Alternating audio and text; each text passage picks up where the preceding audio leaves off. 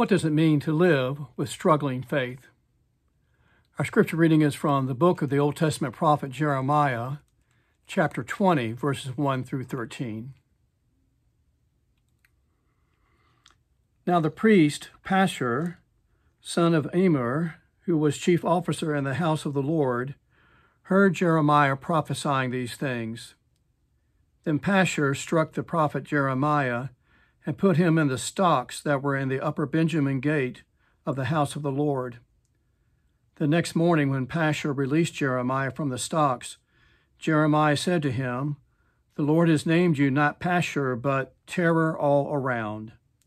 For thus says the Lord, I am making you a terror to yourself and to all your friends, and they shall fall by the sword of their enemies while you look on. And I will give all Judah into the hand of the king of Babylon, he shall carry them captive to Babylon, and shall kill them each with his sword. I will give all the wealth of this city, all of its gains, all its prized belongings, and all the treasures of the kings of Judah into the hand of their enemies, who shall plunder them and seize them and carry them to Babylon. And you, Pashur, and all who live in your house, shall go into captivity, and to Babylon you shall go. There you shall die, and there you shall be buried you and all your friends to whom you have denounced falsely. O Lord, you have enticed me, and I was enticed. You have overpowered me, and you have prevailed. I have become a laughing stock all day long. Everyone mocks me. For, for, for whenever I speak, I must cry out. I must shout violence and destruction. For the word of the Lord has become for me a reproach and derision all day long. If I say, I will not mention him or speak any more in his name, then within me there is something like a burning fire shut up in my bones.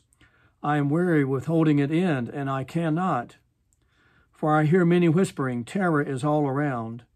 Denounce him, let us denounce him. All my close friends are watching for me to stumble. Perhaps he can be enticed, and we can prevail against him and take our revenge on him.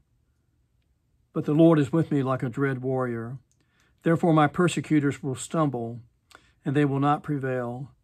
They will be greatly shamed, for they will not succeed. Their eternal dishonor will never be forgotten. O Lord of hosts, you test the righteous. You see the heart and the mind.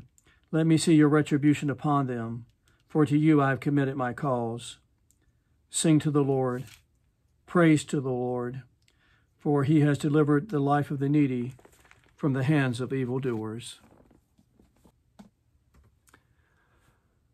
Torn Land is a book about Hurricane Camille and the Great Flood in 1969 that struck Nelson County in Virginia. It rained so fast and so hard and so long that birds drowned in their nest. Entire families were swept away by torn land because of the floods that occurred. In the second chapter of the book, Torn Land, the author states that there were two questions caused by this flood that hit Nelson County. One was meteorological, the other was theological. One was answered by charts and graphs, the other is a matter of faith. In 1981, the Virginia Annual Conference had a a, a pulpit exchange ministry where the pastors from one region would go to churches of another region to preach for three nights. The region, uh, the church to which I was sent, was Bethlehem United Methodist Church, which was located in Nelson County. It had been 12 years since Hurricane Camille and the waters of the flood of 69 had struck had been through Nelson County but I found that as I was visiting, it was still a topic of faith and conversation among the people of that church. A question of struggling faith. A question about believing in God because of all, believing in God despite of it all, and believing in God through it all. The reading from Jeremiah today is about Jeremiah's struggling faith, about faith because of it all, in spite of it all, and through it all. When Pashur, the chief officer of the temple, had Jeremiah arrested and placed in the stock overnight, it was because Jeremiah was prophesying that exile was coming, that God's call for repentance needed to be heard. It was a calling, a prophetic calling that had defined Jeremiah's life when God called him in the beginning chapter of Jeremiah, the first chapter, to be a prophet.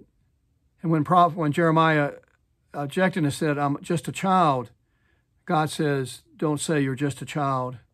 As God calls Jeremiah to be a voice, not only to Judah, but to the nations.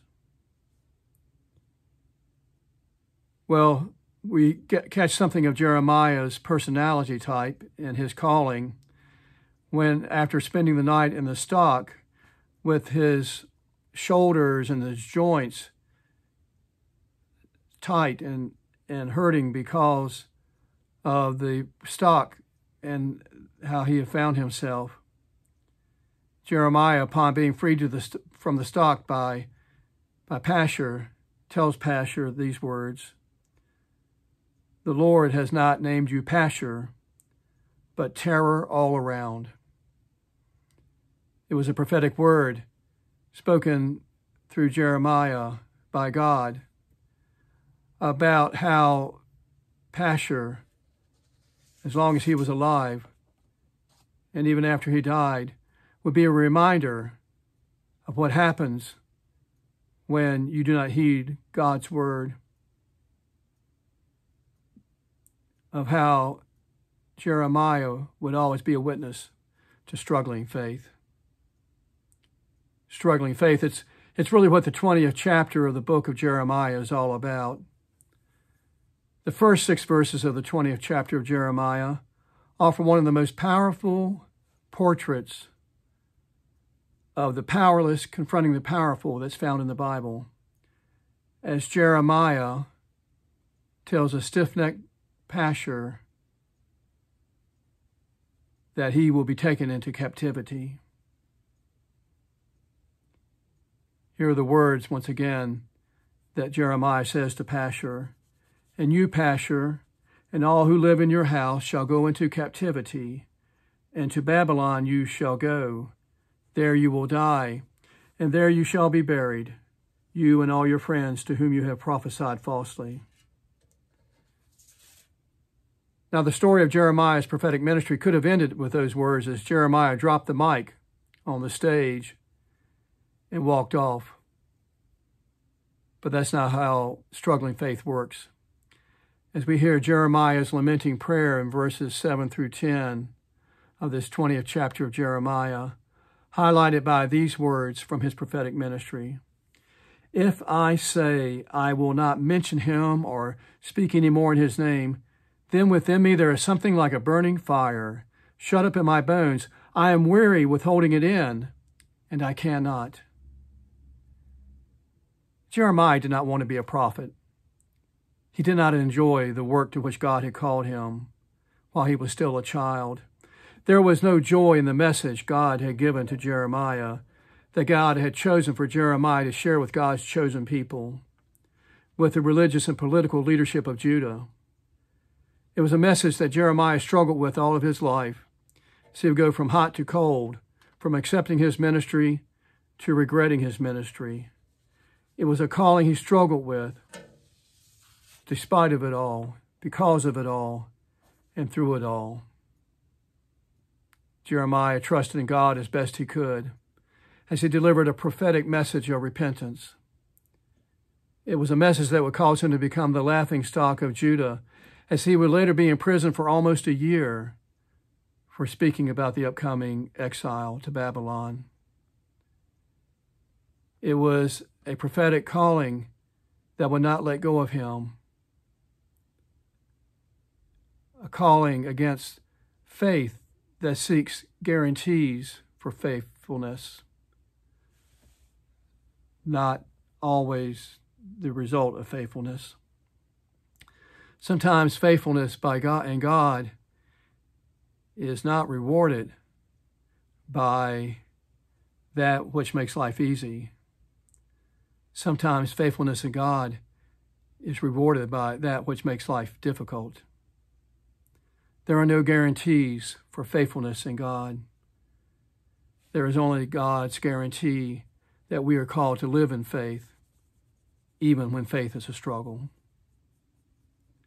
Jeremiah's faithfulness to his prophetic ministry is proclaimed in verses 11 through 13 of today's scripture reading from the 20th chapter of Jeremiah.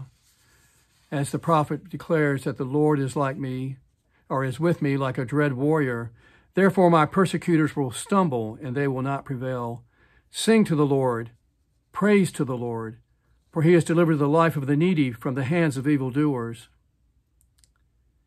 Those are triumphant words, words of great faith, words of hope, words of a future. Now, the story of Jeremiah's ministry could have ended here. And Jeremiah could have dropped the mic and walked off this biblical stage. But that's not how struggling faith works. The pendulum of Jeremiah's prophetic ministry continues on with the verse we didn't read in today's scripture reading, the 14th verse of the 20th chapter of Jeremiah, where Jeremiah says, Cursed be the day on which I was born. How quickly the pendulum can move. That's the way struggling faith is. The faith to believe in God because of it all, despite of it all, and through it all. It was this faith, this pendulum of faith, that caused earlier in the 20th chapter, verses 11 through 13, as, as Jeremiah says, the Lord is with me. It's the same faith that Jeremiah was struggling with in the 14th verse when he said, Cursed be the day I was born. Friends, we live in struggling faith. Faith that can be triumphant and faith that can be questioning, faith that can be hopeful and faith that can be doubtful. We live in struggling faith. We live in faith that believes in God because of it all, despite of it all, and through it all.